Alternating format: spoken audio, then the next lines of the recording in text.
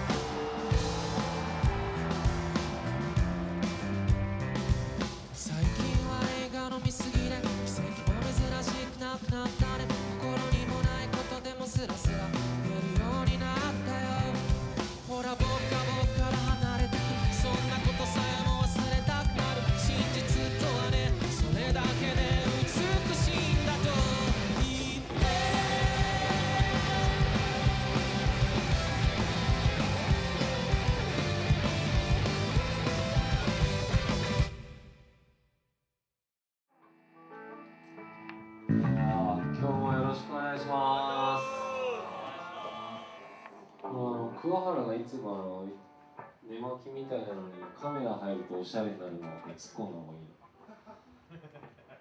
みんな思ってるけど言えてないから俺が言っとこうかなと思って。映画館でしょでももうその時点でドキュメントリーじゃないじゃん。こんなクワお前見たことないんだよ。ラッドウィンプス2015年でメジャーデビュー10年目これから2度目の韓国と台湾そして初のヨーロッパツアーに向かいますラッドウィンプスは10年前に当時の東芝 EMI からデビューしました。でその頃あの新人を探していたのでうわこれはすごいなと思って聞いたことない音楽だと思って。こんなアーティストがいてでラッドインプスっていうアーティストがいてすごいいいんですけどまだハンコをしてくれてないみたいなんですよつって。あまあその時はノリですけどうちでやってくださいみたいなのが ありましたねまあ、聞かせていただいた時になんかすごいかっこいいなと思ってなんかその新しいものを感じてその音楽とか歌詞とか言葉とか。売れ売れると思いましたよ。やっぱり。一目惚れとかしてなんかそういう感じってこういうことなんだなっていうまあその前に会ってましたけど「ワンマイソウル」聞いた時のあのなんかこう電撃の走りっぷりはなんかすごかったですすでにインディーズでは人気バンドだったラッドウィンプス。メジャーデビュー後多くの音楽ファンの支持を受け瞬く間に日本の音楽シーンを代表するバンドになりました。ほとんどメディアに出てこなかったにもかかわらず熱狂的なファンを獲得し続け2014年の全国ツアーでは33会場44公演を回り24万人の観客を動員しました。彼は桑原明ギターとコーラスを担当しています。彼は武田祐介ベースとコーラスを担当しています。彼は野田洋次郎ボーカルとギターそして全曲の作詞作曲をしています。4人目のメンバードラムの山口聡は2015年9月無期限の休養に入りました。フォーカルジストニアという神経症の症状でドラムが思うように叩けなくなったことが原因です。アジアヨーロッパ国内のツアーを控えていたメンバーはサトシと共にサポートドラマーを探しました。オーディションを重ね出会ったのは森瑞樹くん。23歳です。初めてラット聞いたのが中学2年の時なんですけどいやもう衝撃を受けてプロを目指すきっかけになったバンドだったんですよ。ラットが。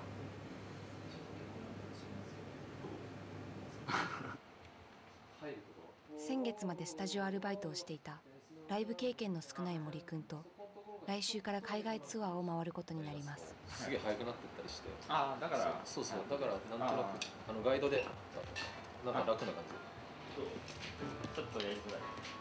いややりづらくはないんだけどやっぱり向こうで。まあそうだよねチームはもうちょっと少ない。ですね4日とかです新しいドラマが変わったのがそれちょっと長めに撮ろうかとでもやっぱあれメンバー一人いなくなるっていうのは一番でかいことが起きちゃったから逆にもうなんか開き直るしかないっていうかライブができたっていうだけでもうすごい森君が頑張ってくれてるの。ですごいやりやすくなった彼が入ることによってそのやっぱ今まで暗黙の了解があったものとかを、まあ、一個一個伝えなきゃな。もうずっとやってるじゃないですか3人は。だからバンド感がもうすでに固まってるんですよ。3人。それに乗っかるのがかなり難しいんですよ。やっぱり。少しずつ良くなってるとは思うんですけど。4週目からこんなしてくるっていうのが入って。あああれ昨日なんか頭じゃないごめんあの特に連携取ってなかったから。ああ。本ちゃんの CD のじゃないよねきっとねプラグインああそうだね。かかってないよね。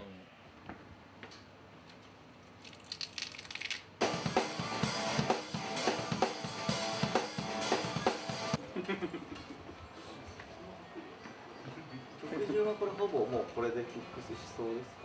そんなことは誰もわからないよ。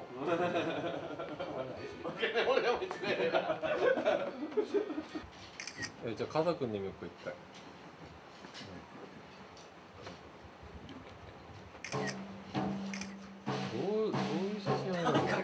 離あるね距離が初々しいんだよ。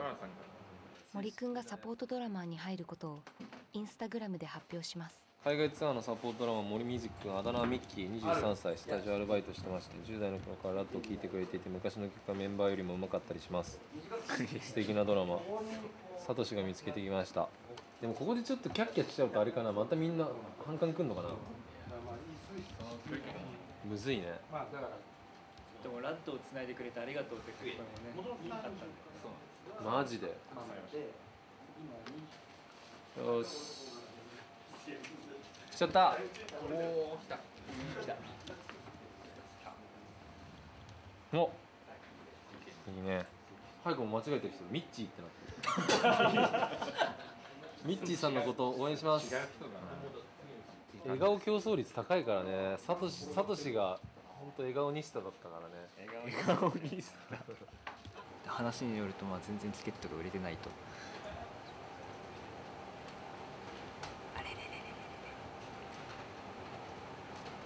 もうライブとか全然好きじゃなかったし。ライブ自体うん苦痛だったんだけど。昔は全然恐怖の方がでかかった。なんか嫌だなって。だいぶでも本当にマシになったよ。やっぱ一人じゃないのでねメンバーいるからすごい救いですどのくらい決めてくみんなあの寒さ対策。そこでマックスだね。あ5度は真冬だね。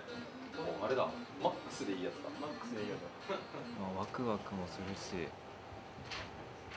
まあ、不安ですしね。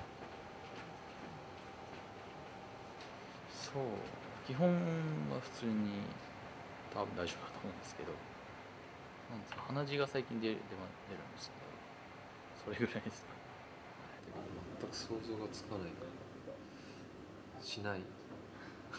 想像は。よろしくお願いします。ますお疲れ様でした。はい。じゃあゆっくり休んで。ねよろしくお願いします。頑張りましょう。頑張りましょう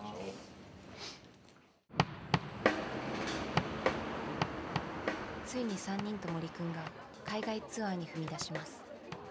ラッドウィンプスはアジアではすでに大人気。韓国では中国や近隣の国からも多くのファンが押し寄せました。これ6396人のファンがいます。お願いします。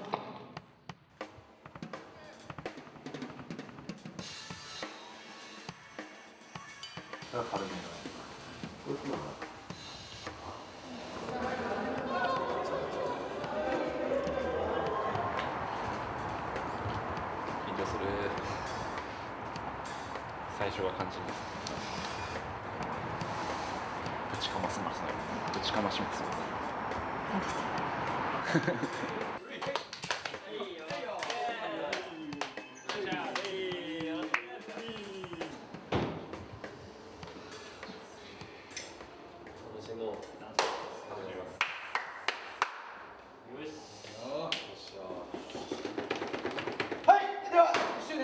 年そしてミッキー初めてなんで今日は気合い入れてもう何より俺ちらのこの仲間になってくれるはいびっくりした。はいはい。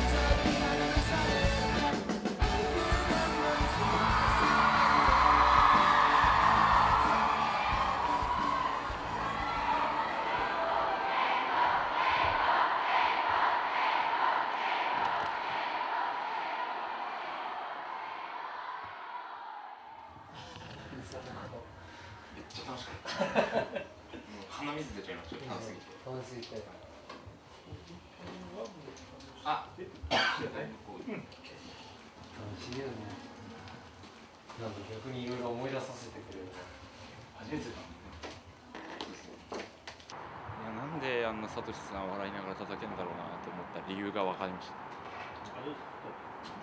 재밌었어요. 완전 최고. 완전 시간이 너무 빨리 완전 정말 최고. 전혀 어색하지 않았고 정말 멤버들이랑 잘 어울렸고 재밌었어요. 저 듣고 밤에 친구한테 연락하면서 울었어요. 울면서 연락했어요. 저거. 최대한 빨리 나와서 또 내한도 많이 와 주셨으면 좋을 것 같아요. ちょっとリストを変えようかと次了解 と12曲目「バグパイズ」を2人ごとに変更はい。です。です。了解。ドラマの消しない。感じあごめんこれ関係ない。これあり。オッケー。ヨーロッパにヤユやったんだっけ？あそっか。あそうだ。今。あトレモロがやよいヤユがせやせや。ったらちょうどいいじゃんせいいじゃんいいじゃん。ちょうどいい。うちらがやりたかったことじゃん。イエスイエスオッケーお願いします。はいすごい。お疲れでしたよいしょ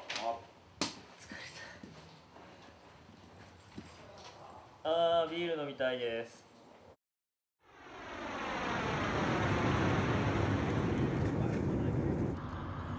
そしていよいよ初めてのヨーロッパツアー。こちらではラッドウィンプスはまだまだ知られていないバンドです。冷えますね。です like about knowing something from inside you or like outside this world. Their music is quite technical, quite uh, quite melodic, and even if you don't understand the lyrics, it's a great band, you know, to hear. 全力でぶつけてどんなものが返ってくるかっていうそれがただ単にも楽しみです You know French song? French song? Yeah. オーシャンゼリ大丈夫ですかステージどんな広さなん だろうね超狭いでしょ超狭いでしょこんぐらい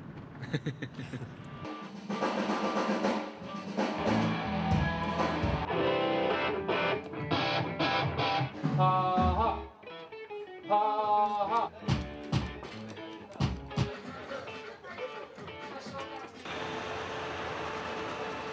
Ça première fois au fond, concert en France. うんあフランス語っぽいですよこれ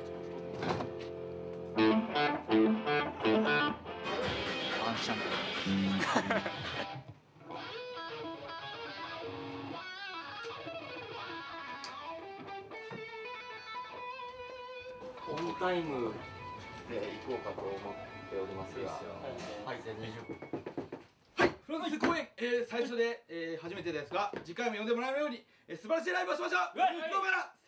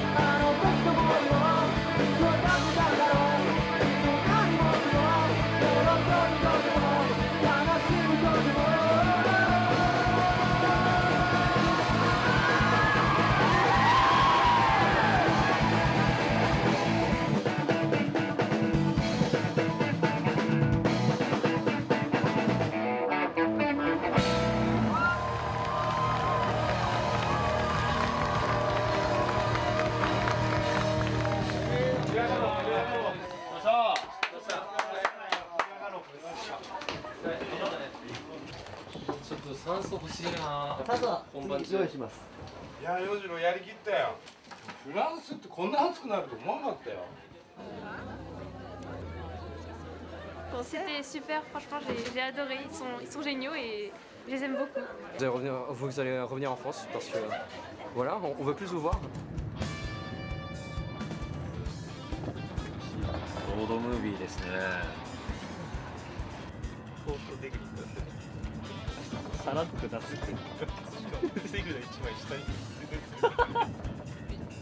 上がり。上がり。上がり。野田さ野田さん強い。今日やばい。野田さん今日強い。ね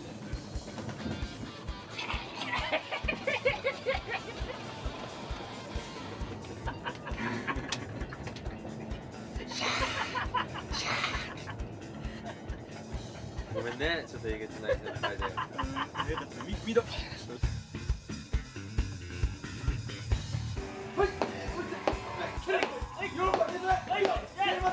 粘り続けるけど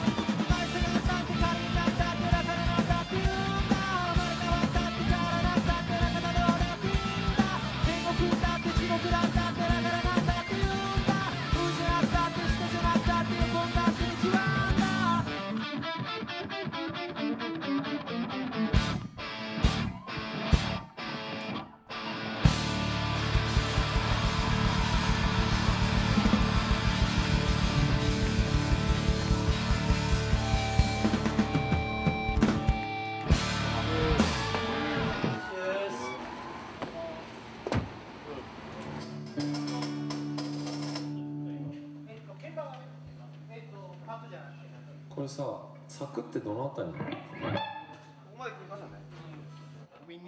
この会場で向こうのスタッフが進める通りに柵を入れるとステージが客席から遠ざかってしまいます。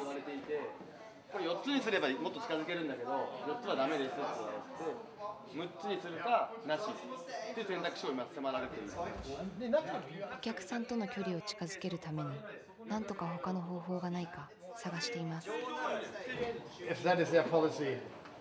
Can we just try once? I mean like four No? だからそしたらもうそこも増やしちゃってもう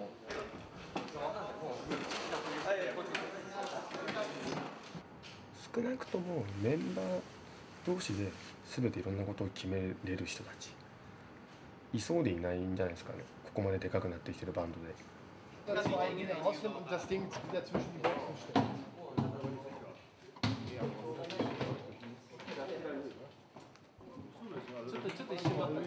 Wir müssen keinen Graben in dem Sinne haben, sondern nur einen Abstandshalter. Ja, ja. Dann ist wäre das okay für dich. Ja, klar. Okay, then let's try it. OK じゃあ 4, 4個にしましょう He, he makes the wall and uh, 柵を サ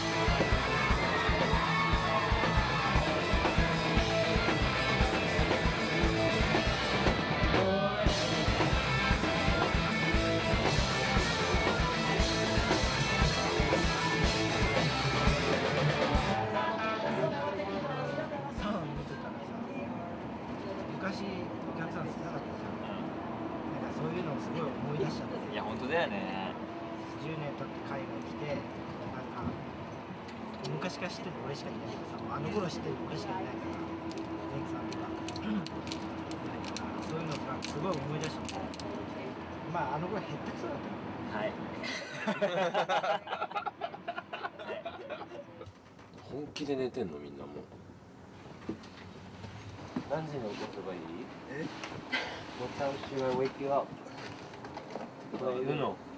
こっちでゴロゴロしようよちょっと恥ずかしいの？話そうよみんな。せっかく一緒に寝てんのに。いいじゃん。こう一瞬こっち見て。はーい。チーズ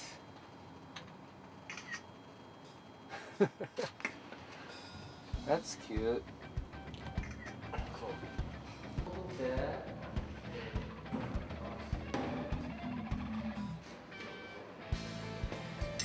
ああ楽しいなツアーってデビューできてよかったよろしくお願いしますよろしくお願いします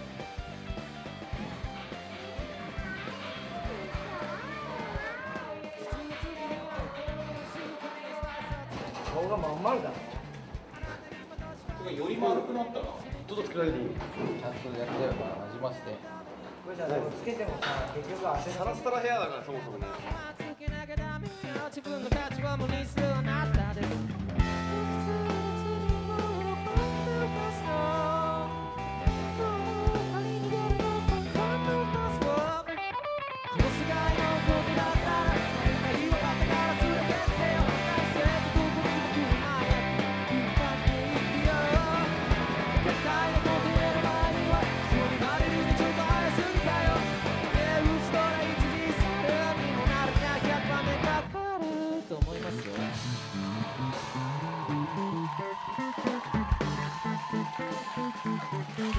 見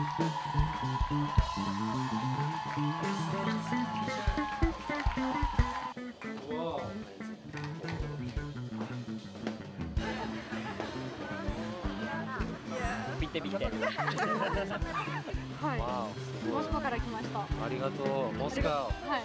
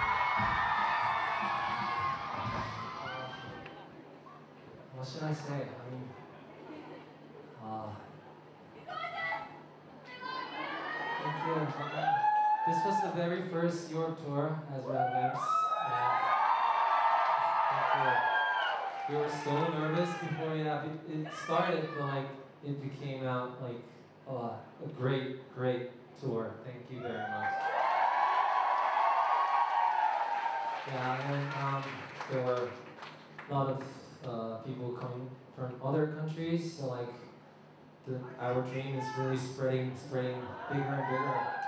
So yeah, um, maybe next Europe tour will be a bigger one, we hope. Yeah. One more song? I won't forget tonight, thank you so much.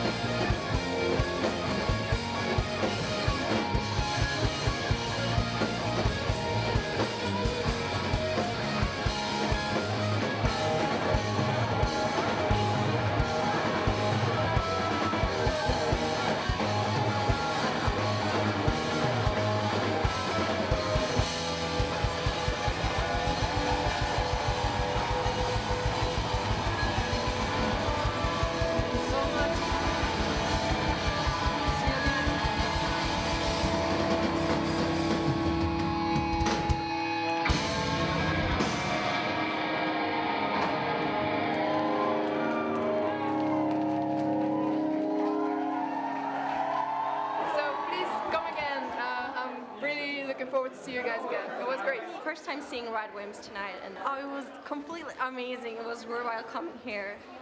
Come back. Please come back. Please, you're awesome. We love you. Waited for this 10 years. Finally managed to see you, and it was great. So Short. happy. Short.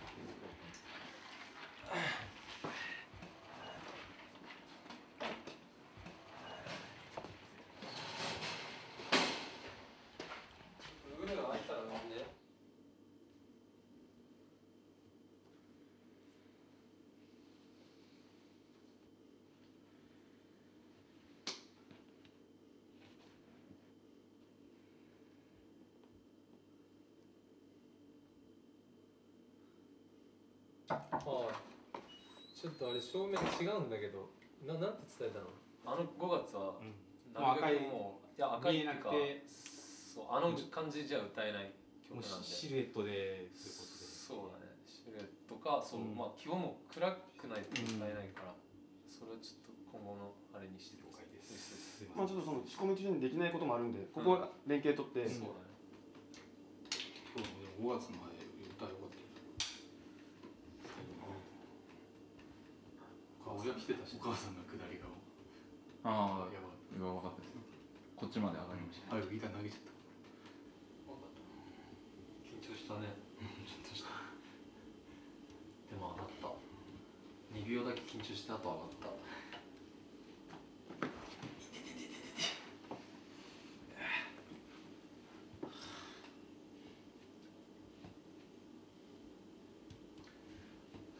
あと何年だろうねこう汗汗だくのライブやるの10年ぐらいどんだけできるんだろうね顔が崩壊したお客さんが50 40とかになったらもうお客さんも嫌だよね。スタンなんです。ホールツアーに変わりちゃうシャカシャンは今日は無理です。じ ゃあアコースティックバージョンであ。あ難しいカラスが増えたから。ゆっくりやるちょっと演歌調スタッフはすごくあのヨーロッパでずっと頑張ってもらったのとメンバーの今日のプレーはもう本当に感動しました。素晴らしかったです。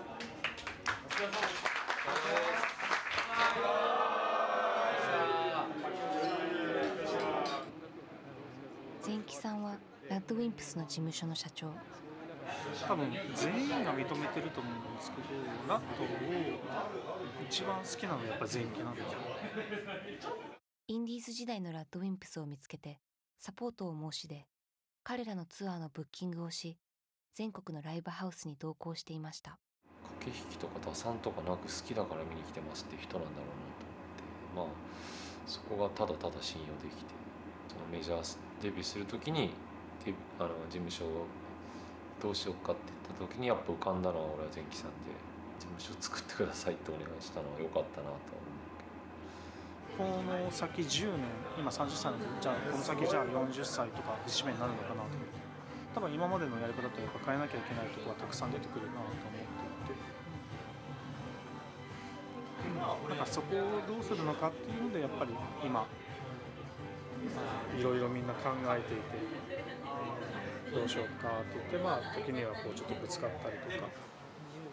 では、えー、海外最終日です。時差僕です。よろしくお願いします。お願いします。いいライブにしましょう「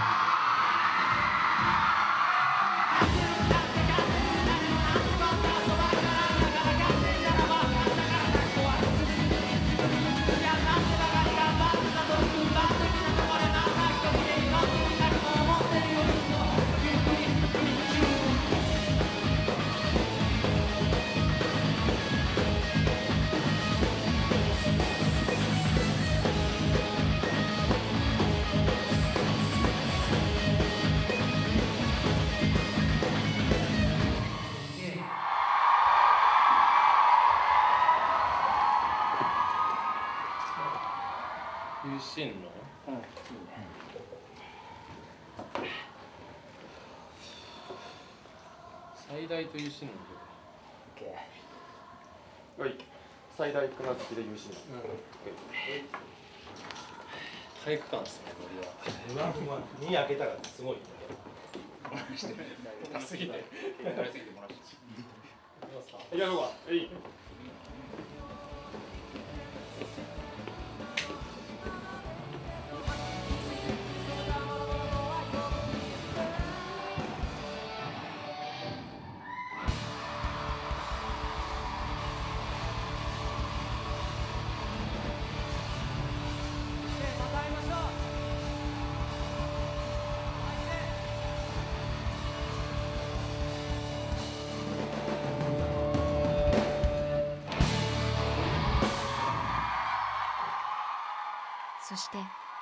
海外ツアー最終日。台北のライブとアンコールは大盛況で終わりました。完成はいつまでも続きます。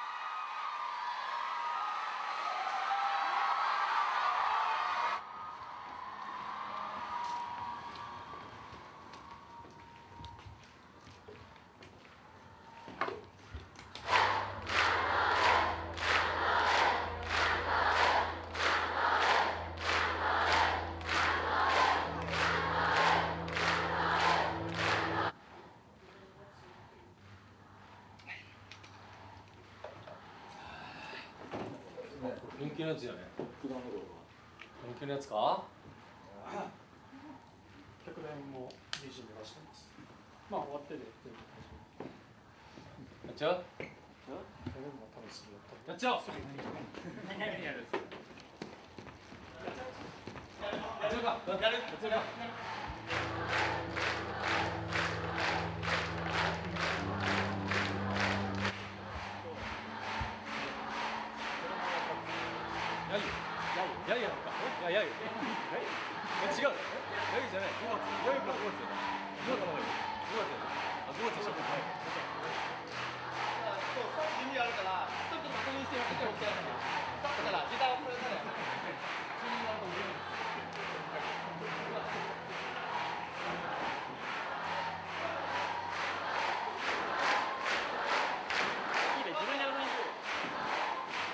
てよ自分でやるよ。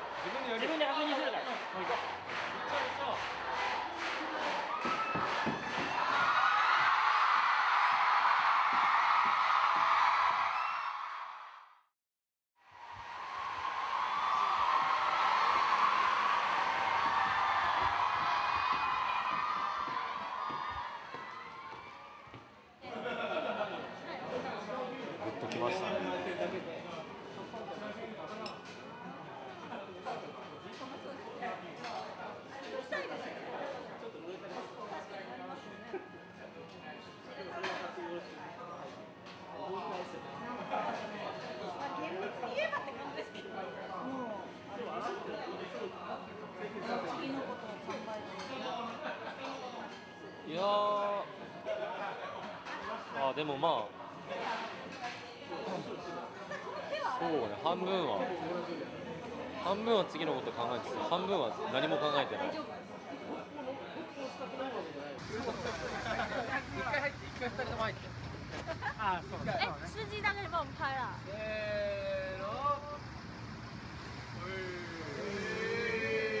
さんは4でした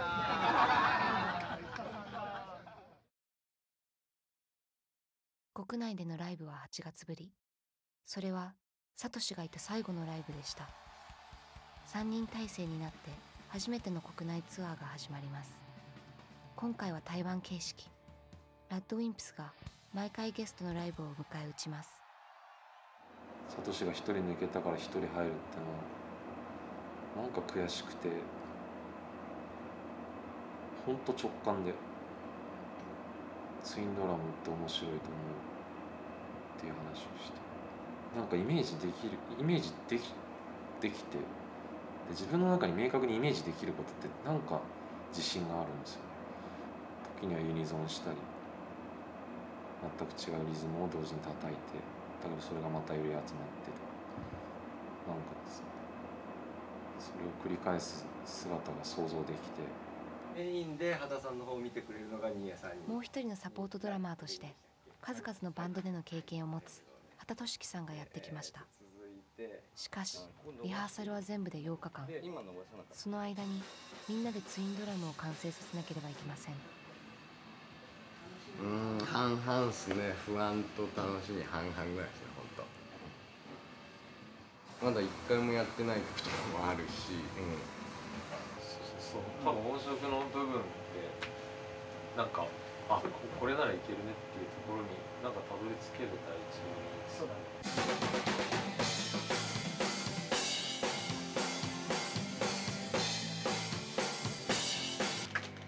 あ一緒にやるってないで。でポッとポッと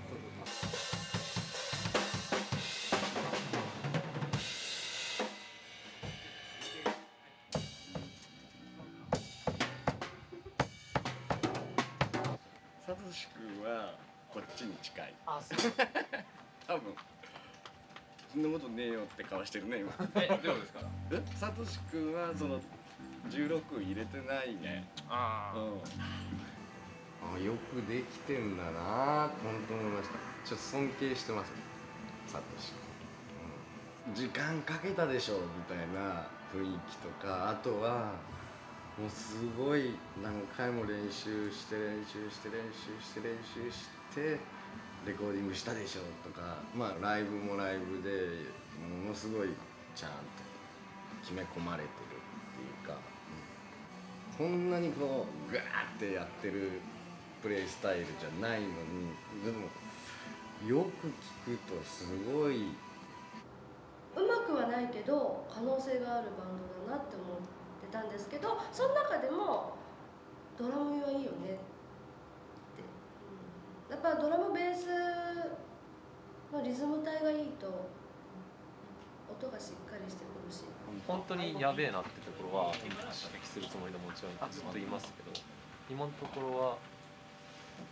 自信持てよお前らみマジで持てよ。でもめちゃめちゃかっこいいの。本当。だい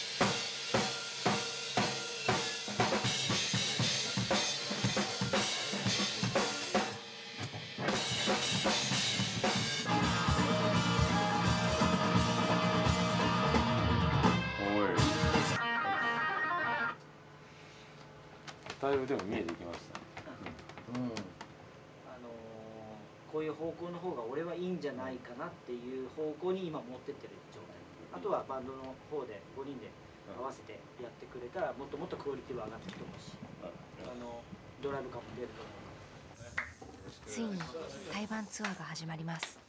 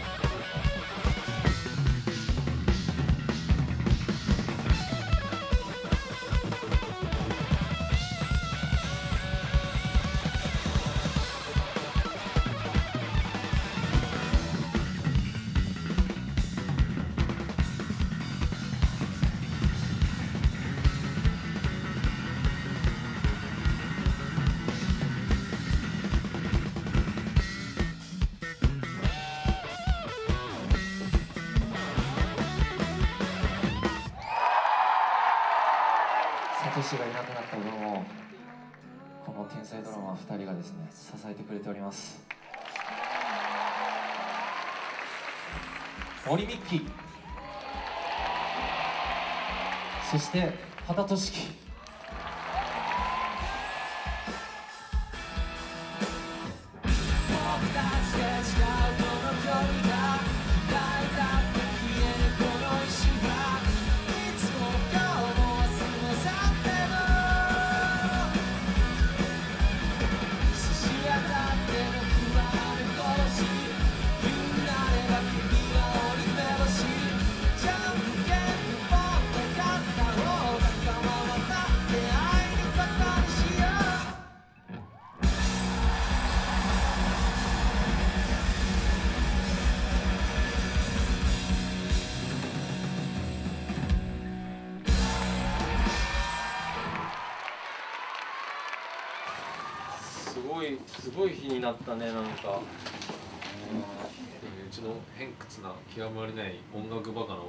ですけどすごい喜んでました。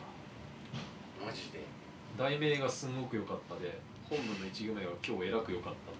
ミッキーのあの力強さというか正確さと畑さんのあのやっぱやさなんかや優しい人だねっつって まだまだ全然いけるぞっていう気はしてます、対バ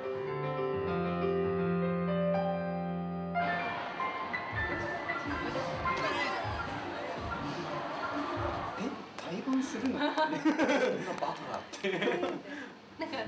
ちょっとなんとなく誘ってもらえるかもよみたいなのがチラチラって聞こえてきてていやまさか決まったよ。わーみたいな。みんなで。頑張ります。さよならから始まることたくさんあるんだよまさか一緒にやれる時が来るっていうのはねえ。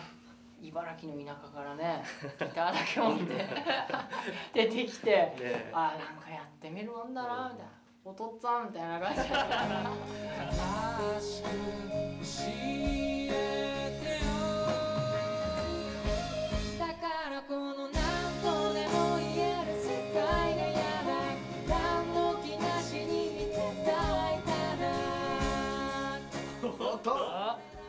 そこ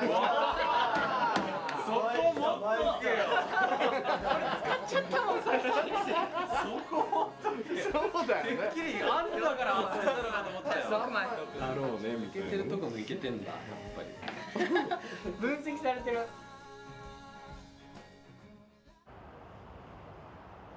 開演4時間前セッションする予定のなかったラブサイケデリコから何か一緒にやれることはないか。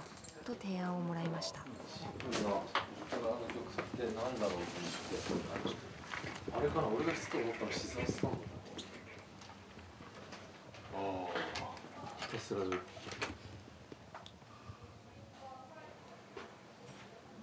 っとミッキーも読んでみてください曲の候補いろいろ探してたんです。けど、で、ディーズ・デイズが提案して今話が出てきたんだけど、These Days というラブサイケデリコの曲をセッションすることになりました。しかしリハーサルの時間はもうありません重役うん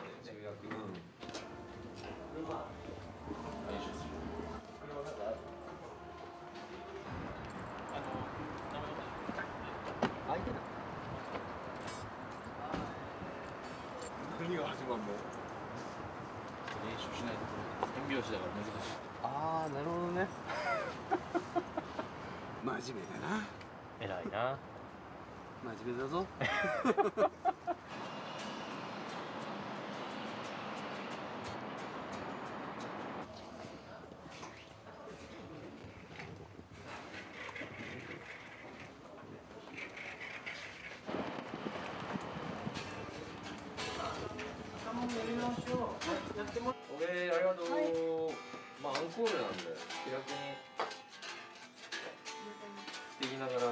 ってるんだね。まあよろしくお願いします。よろしく。お願いします。お願いしますよろしく。お願いしますお願いします。よろしくお願いします。なんかみんな今日そわそわしてますね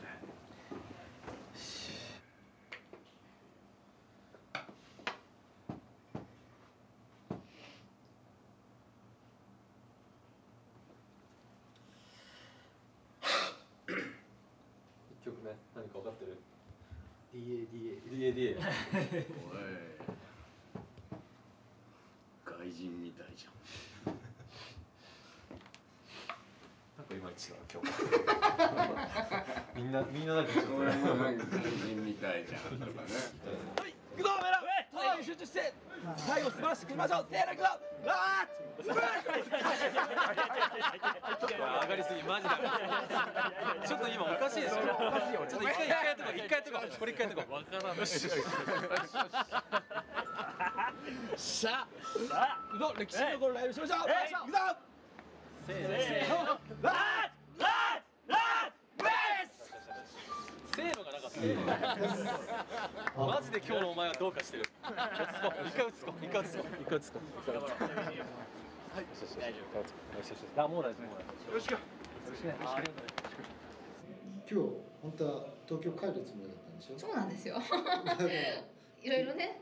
セッション急に決まったからね。そうそうそうそう。何もないでしょ。荷物とか。そうなんですよ。そんな楽しいことがあったらね、帰れないですよね。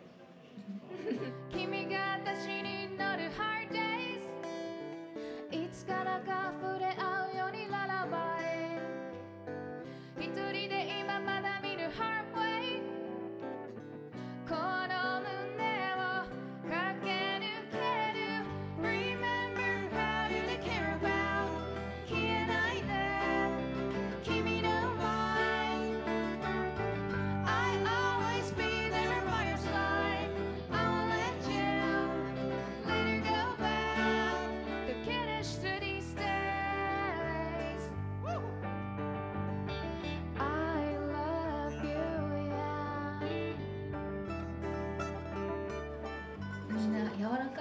かいよねハートがね、みんなね、今まであんまり会ったことのないタイプの相手のこととかコミュニケーションを取ることは大好きなんだけれども、すごいグッてくるんだけれどもすごいナイーブにくるんだよね。なんていうのか繊細にこうセッションしてくるっていうか。あ演奏したらあ好きだなと思ったから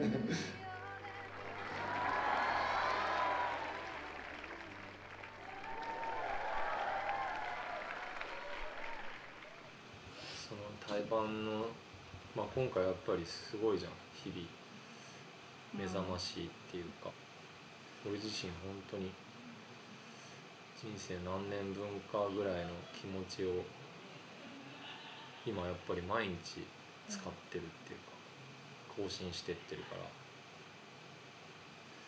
なんか本当におかしい。なんかこう時間の感覚となんか年を取ってる感覚となんか。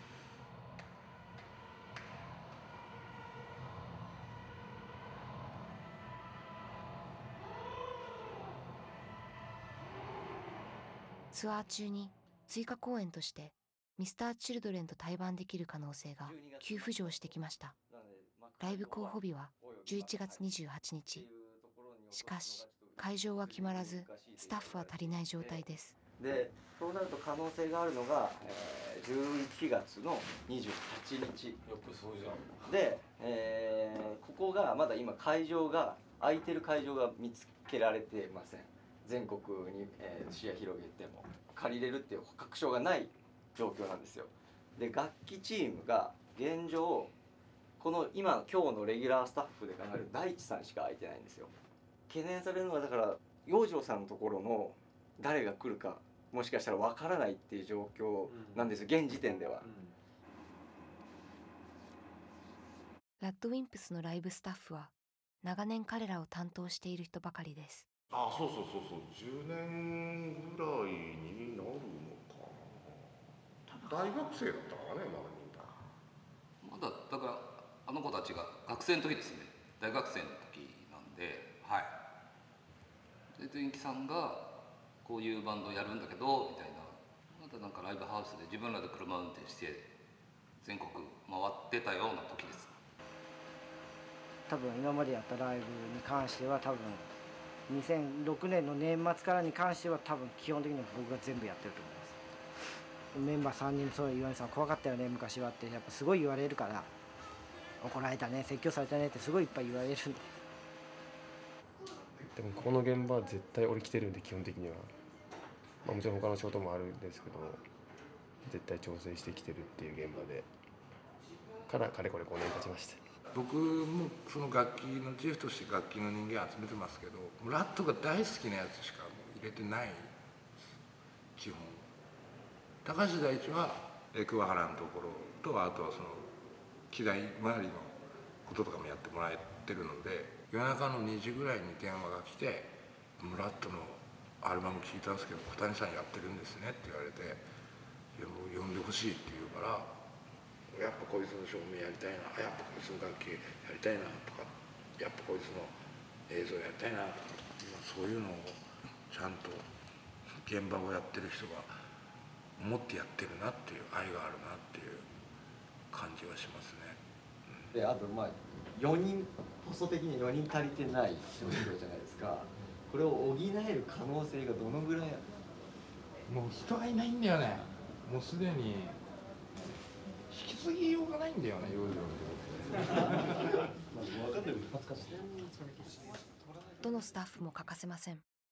たくさんの人に協力をお願いしなんとか調整を進めますがどうしても来れないスタッフもいます。うん。まあ、PA の岩見さんは結局無理で。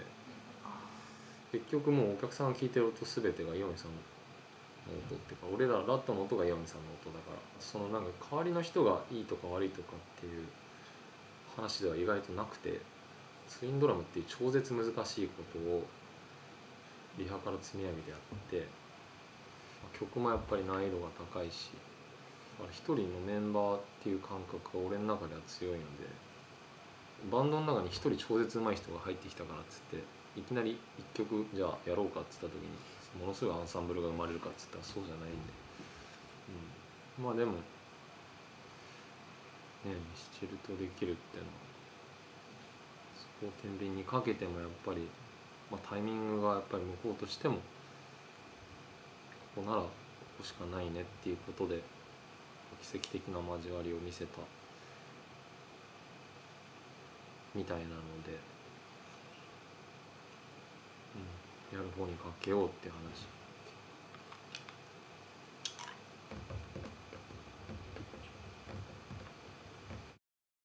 翌日会場を抑えることができました。11月28日ゼップ東京で Mr.Children との追加公演が正式に決定です響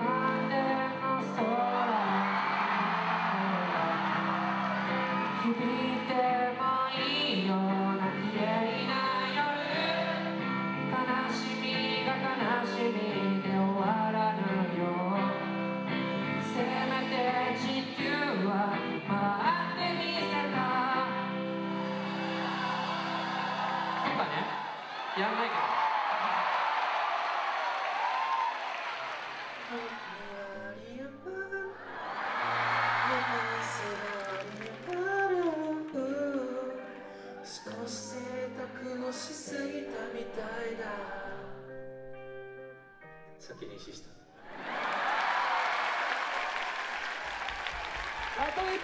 周年おめでとう。なんてこった。すげえぜ。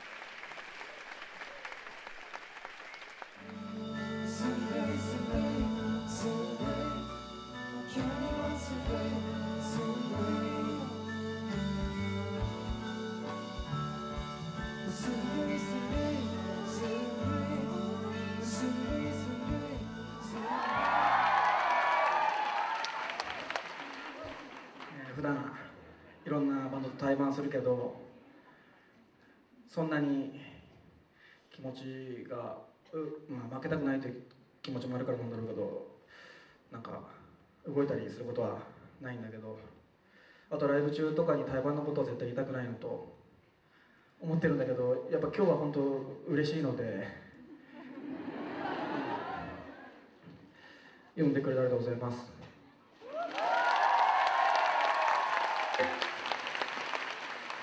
えー10代の時に、えー、とラットのメジャーファーストだったかなが出て視聴して聞きたかったんだけど金がなくて買えなくて。誰とでもすぐにやってしまうキャバクラ嬢で働いてる女の子に借りました。あ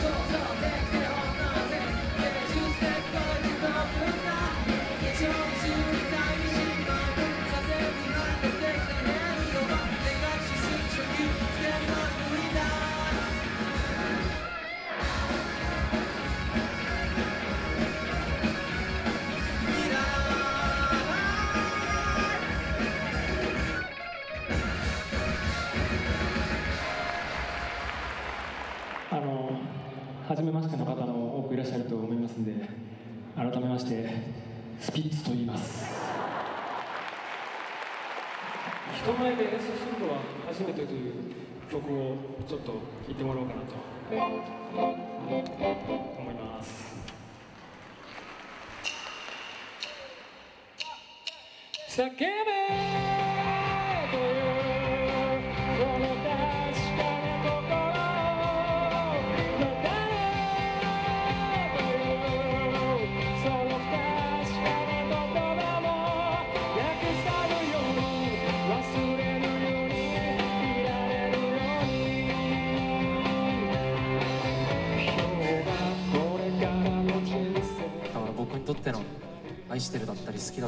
そういう言葉の中にはどうしたってスピッツがいて何割かいて僕のなんかそういう言葉をどっか作ってる部分があってだ余計に今日は一緒に歌え歌えてとかステージに立ててそれでまさかラットの曲まで歌ってくれてこんな幸せなことはないです。本当にありがとうございます。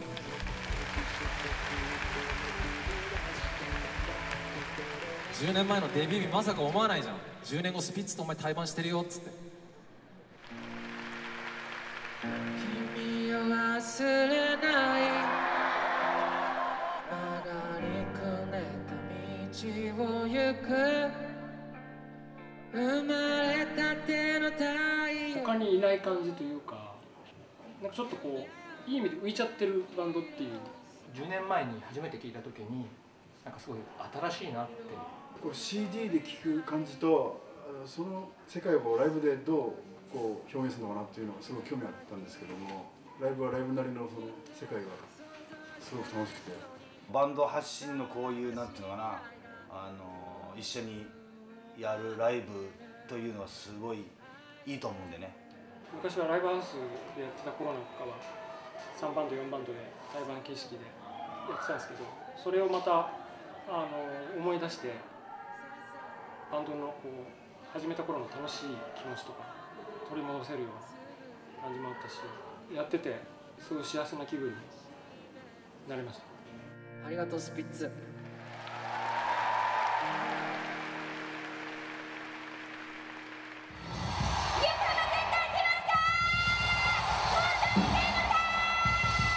このさ対バンイベントもいくつかねいろんなバンドさん出てるけど一番タイプ違うでしょ僕ら分かってる。分かってるそれは分かってる。だけどデビューしてから、まあ、ちょうどデビューの時期も同じだったしやっぱりすごく真逆にいるからこそすごくなんて言うんでしょう勝手に意識していたというかラッドインプさんは全然違うところでもう素晴らしいバンドになってるけど自分たちもそれに胸を張れるようになれるように頑張りたいと思ってここ10年やってきたそしたらこのライブイベントにあの皆さんが呼んでくださってすごくすごく嬉しかったです。ありがとうございます。ありがとうございます今日は皆さんと僕たちでラッドイプスというバンド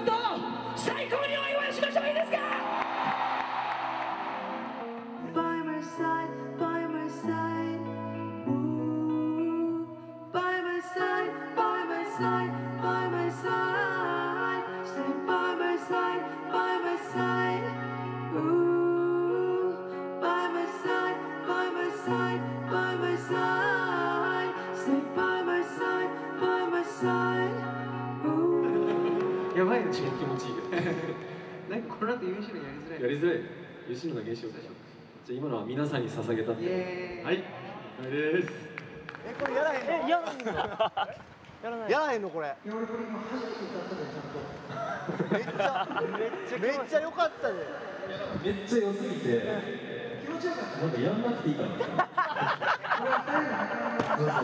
宝物感でいいかな本当はこれあのやる予定じゃなかったんだけどなんか今戻ってってタカがこれちょっとやんなかったら多分一生後悔するからやろうっつって。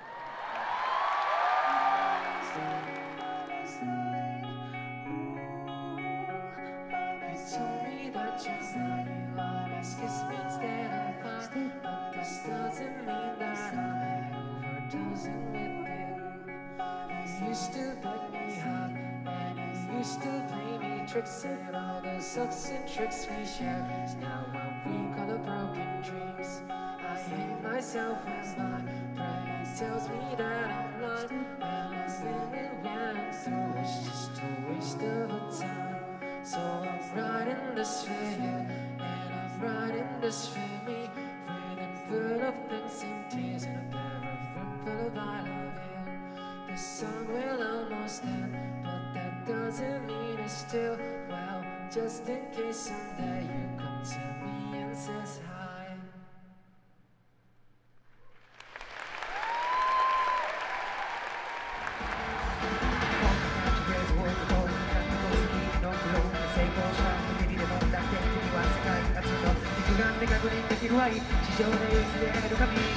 菅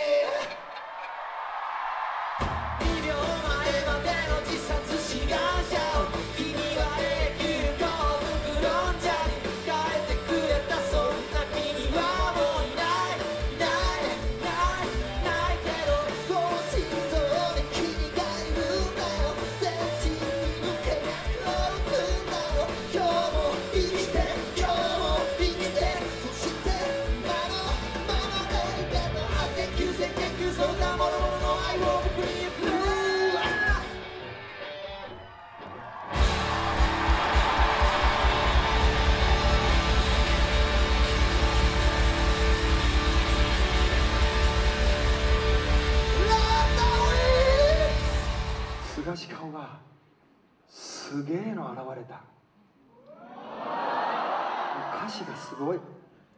もうそれこそあのなんつうのあのロボット掃除機がさ出たかのようなもうついにここまで来ましたよ日本のロックはっていう言い方で僕に教えてくれたの。それがラットね。それを聞いて本当に本当に良かった。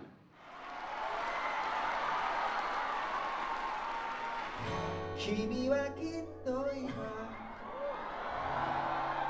いつかの夢の上に立っている君はきっと今誰かの夢の上に立っている。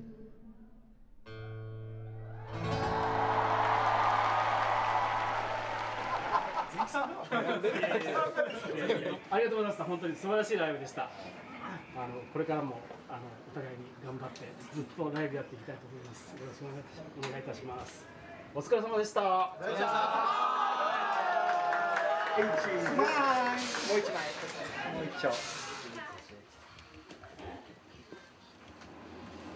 中2ぐらいの時から初めて作ったうん。自分の犬にて歌を作ってましたねその時。は飼ってた犬。ロッキー。いいやつすぎて。そいつに向けた歌でした。なんかでもマイナー調の暗い曲がね。全然覚えてますよ。どうして君はそんなにもみたいな。自分じゃ届かない何かに向けて歌う感じはその時からあったのかもしれないですね。うんなんかすごい惹かれるものに対して。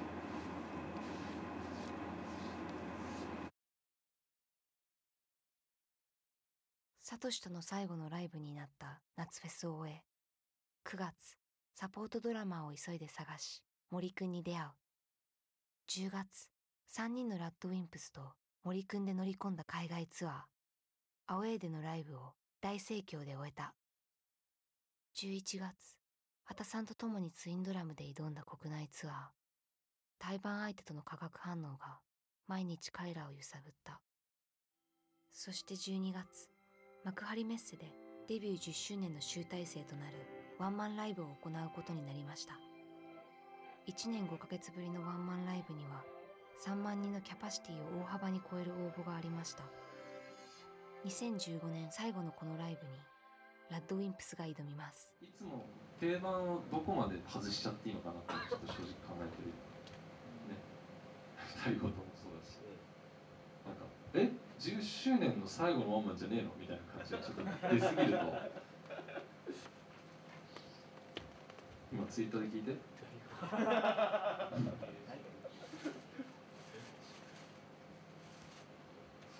マジで聞いてみようか。なんて聞けばいいの？やってほしい曲とかちなみに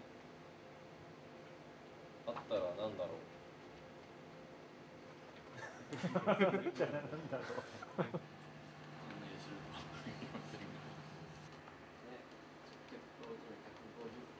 ういや集計結果をどうですかねアイアンバイブル、タミー実況中継、記号として G 行為、会心の一撃、閉じた光、本ドーム、億万少女、オリエルスカイ、ヤドカリ、悲しいオーダーメイド、ワンマンライブ、アンチコンティタユタ、夢マッチ。結構バラバラですね昔のアルバムのやついっぱい、バイマイサイ、ラストバージン、青い春。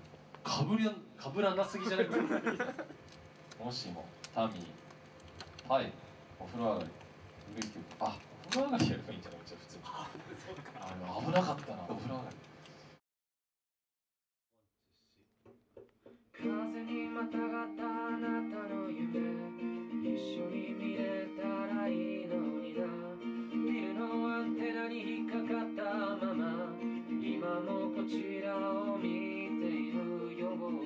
風呂上がりのという曲はサトシの休養後初めて3人でレコーディングした曲です道が過去ばかり増えてゆき捨てようにもどれも大事すぎて後悔など何一つないぜ。その声だけやたら大きくてもさ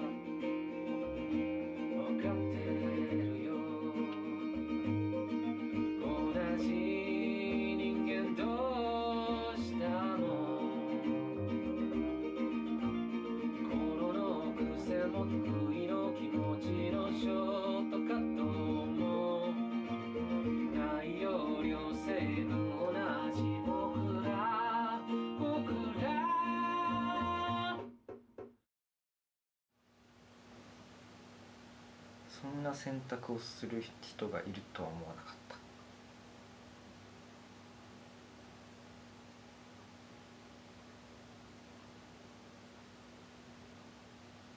た。でなんとかしていこうよってやっていけるもんだと思ってたな。みんな多分一瞬ポカーンとしてああみたいな感じでこう時が止まってる感じというか。ぱり俺以上に武田と桑の絶望は計り知れなくて。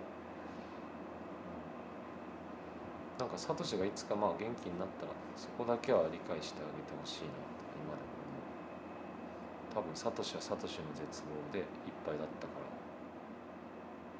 であの時はそれで良かったと思うんだけど。自分が絶望の時に相手の絶望まで背負い込めないからさ。まあいつか大丈夫になって元気になったら、うん。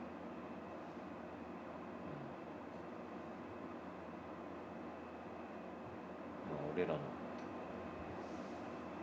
悲しみもチロッとは分かってほしいなというか。なんかそうやああいいですか。サトシが23日に行きたいというふうに言ってます。でいいかなと思うんですけど。全然大丈夫です。ますか大丈夫ですか？はいサトシが幕張のライブを見に来ることになりました。もうドラム叩けなくなってももういいから。もう続けようぜってずっと話をしていて。だってあんだけ愛し合ってた4人で3人の言葉が全く届かないってなっちゃうって。やっぱりショックだよね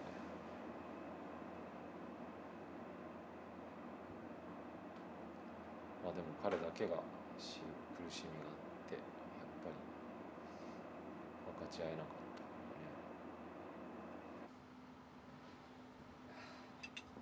自分のやってるフレーズを人にやってもらえるというのはなんかこんな嬉しいものなのかと いう感じがして。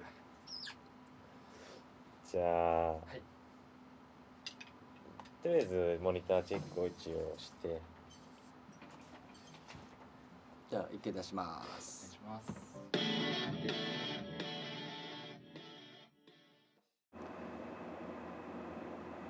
発表も本当は違う形でやるはずだったんだけど脱退それぞれが思うこと感情を本当に吐き出した文章を書いて、うん、やっぱどうしてもそれ見たらもうショックだなと思って普通にファンは。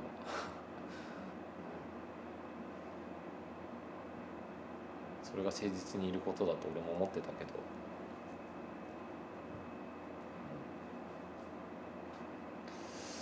これを見せる必要は本当はないんじゃないかなと思ってて。でも無期限活動休止で脱退じゃなくしようかってて。まあやっぱちょっと嘘はついてるけどみんなの感情としては。多分。でもあれは優しい嘘だからいいのかなと思ってるし。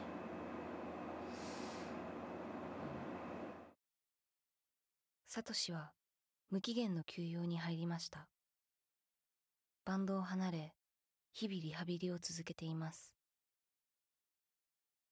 やる。やらないやらないやらないやらないやらない。やる。やらないやる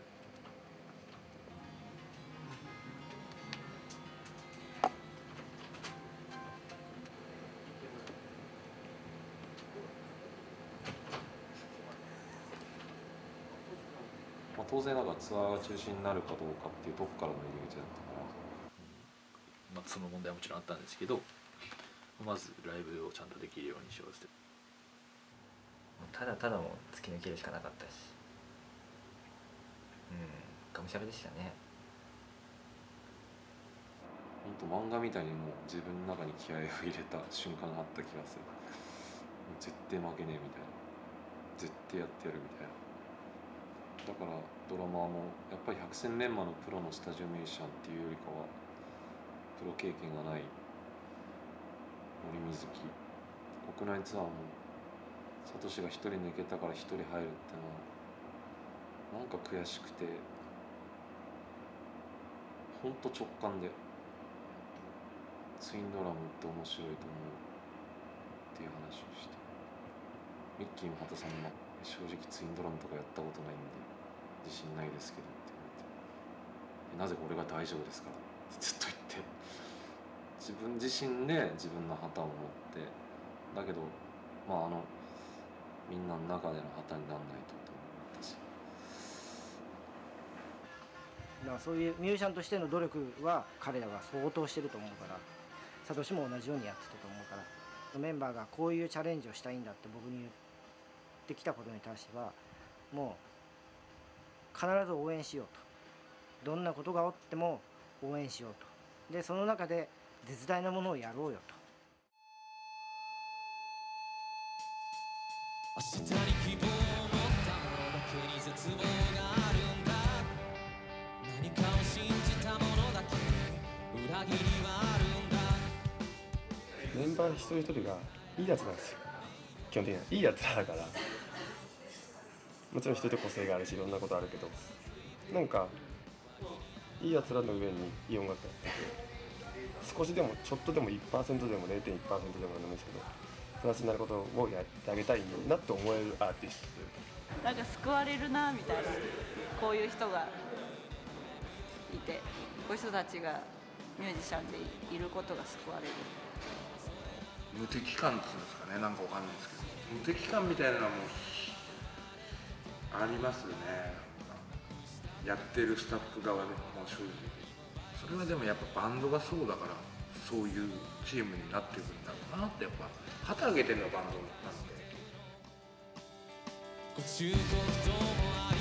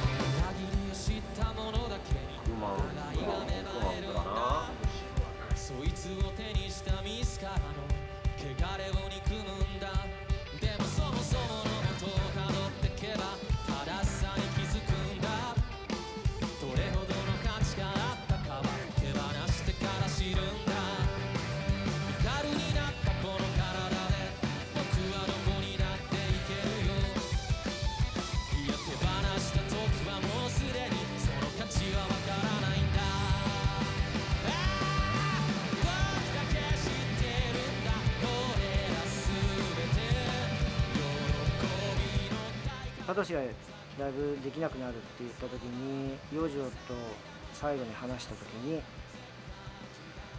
圧倒的なラット見せたいなとそれがやっぱステージに溢れてるしそういう気持ちをがお客さんに対して伝わってるような気がすごいしてて今は。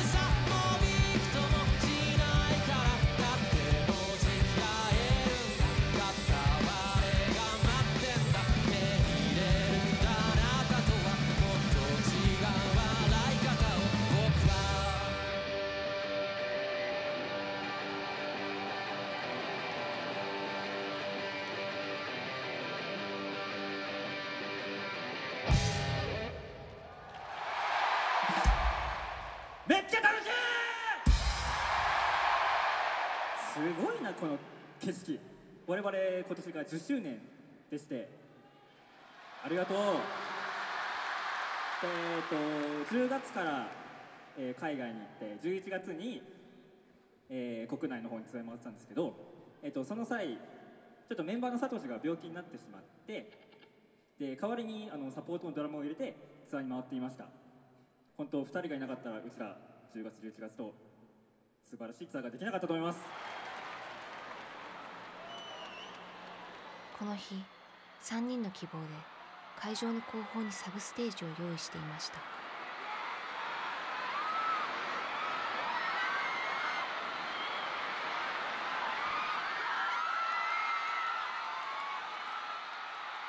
360度開けた。どの席のお客さんにも見えるこの場所でアンコールを行います。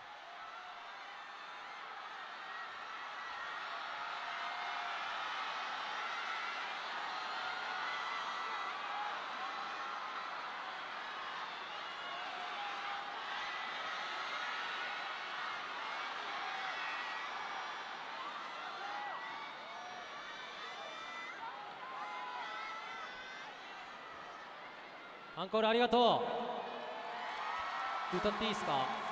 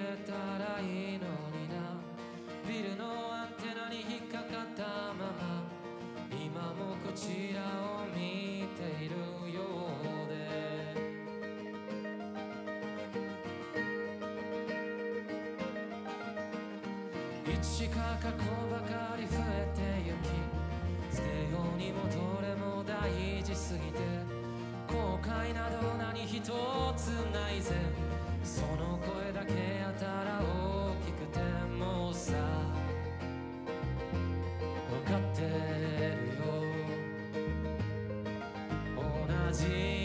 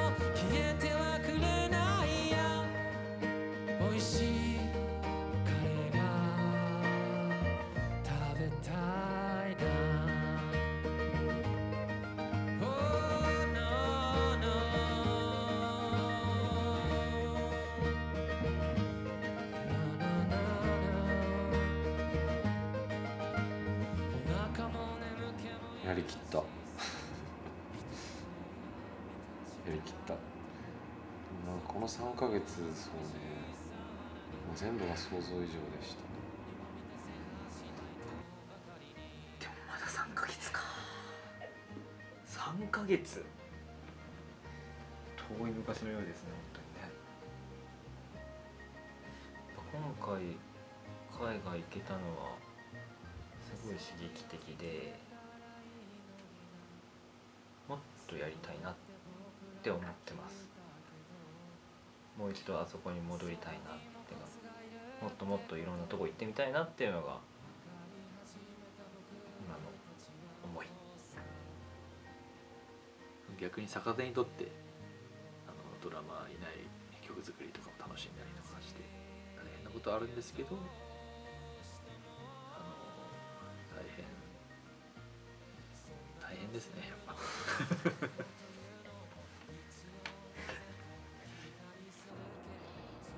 そうですね。なんか終わった感は何もないからな。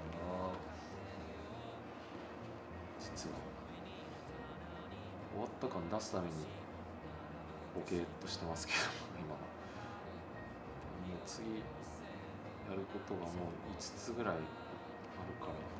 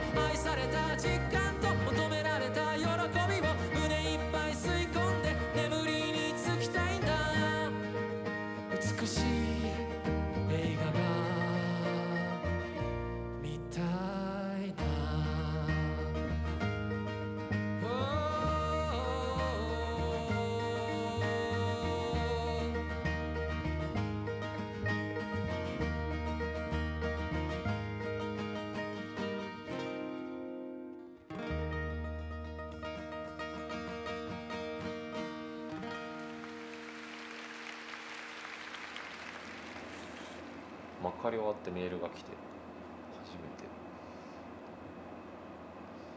きっとサトシも初めてラットのライブをお客さんで見て初めて。やっぱりラットエピソード最強のバンドだ